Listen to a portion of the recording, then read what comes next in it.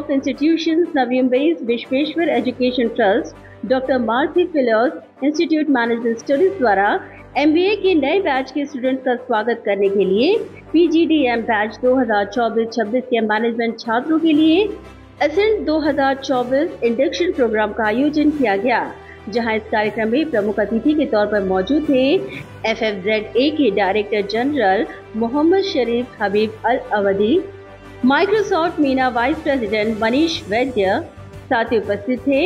Indira institute of business management के president doctor G Varghese Mar Theophilus metropolitan M S के director doctor Susan Varghese Vishweshwar education society के executive director doctor Amrish Patnigiri secretary father Ibrahim Joseph managing trustee invitees IIBM के director doctor Ashok Lohar प्राचार्य doctor Nitya Varghese faculty staff, parents और students बड़ी संख्या में उपस्थित थे।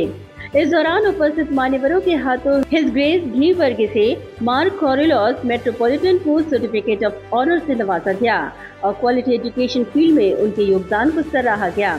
इस दौरान डॉक्टर सुसैन वर्गीसे ने आज की तेज़ी से विकसित हो रहे कारोबारी माहौल में अनुकूलनशीलता और लीडरशिप के महत्व पर ज़ोर दिया।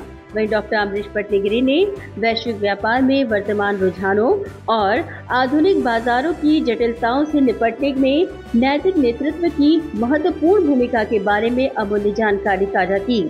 साथ ही स्टूडेंट्स को स्ट्रैटेजिक माइंडसेट के आकार देने की ज़रूरत पर प्रकाश डालते हुए उन्होंने कहा कि जीवन भर लर्निंग का प्रयास सभी स्टूडेंट्स को एक डेडिकेशन और कमिटमेंट के साथ करना चाहिए। इस दौरान स्टूडेंट्स ने खास इंटरेक्शन में एफ़ एफ़ जेड ए की director general Mohammed Sharif Habib Al Awadhi ने भविष्य के अवसरों की तरफ़ ध्यान केंद्रित करते हुए कहा कि आज कॉरपोरेट वर्ल्ड अपने फ्यूचर लीडर से क्या एक्सपेक्टेशन रखते हैं, उनके सामने क्या चुनौतियाँ हैं, भविष्य में चुनौतियों से लड़ने के लिए क्या करना चाहिए, उस पर उन्होंने अपना मार्गदर्शन किया। स्टूडेंट्स ने बेहतरीन मोटिवेशन के साथ कॉन्फिडेंस बिल्डअप करने में यह इंडक्शन कार्यक्रम सफल रहा। इस दौरान छात्रों ने अपने अपने क्षेत्र में महारत हासिल करने वाले बिज़नेस टाइकॉन से इंटरेक्ट किया और अपने सवालों के जवाब दिए। इस कार्यक्रम को लेकर मोहम्मद शरीफ हबीब अल अवदी ने अपनी प्रतिक्रिया व्यक्त की।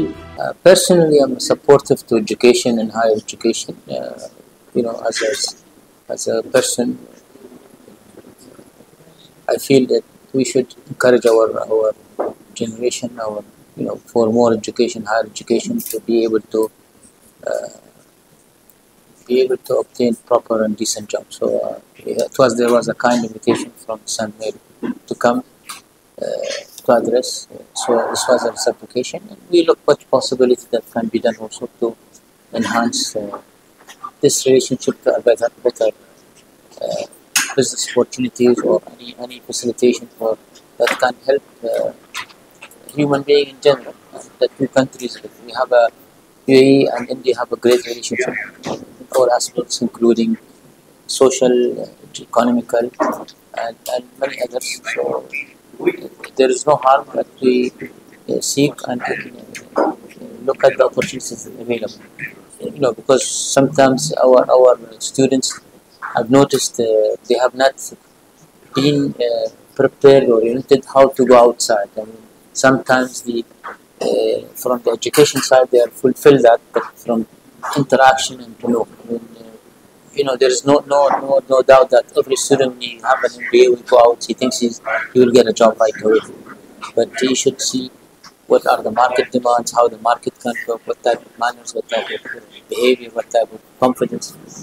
So yes, uh, I'm just uh, trying to see to say that uh, you are in a field where you can get the highest level of education, highest, high, highest level of training. In many countries, they usually take MBA after a couple of years of working because then they know how to fine tune it. Uh, here, in our country, because the opportunities are easier, better, people continue to get uh, their masters or whatever afterwards.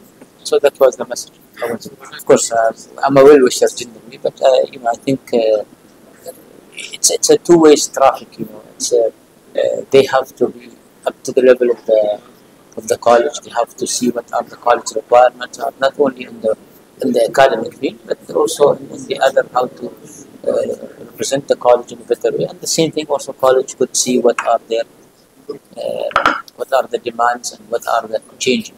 So the colleges that today up to date, up to the market demand, then they can definitely deliver and provide better quality students. Bureau Report, Naveen Network.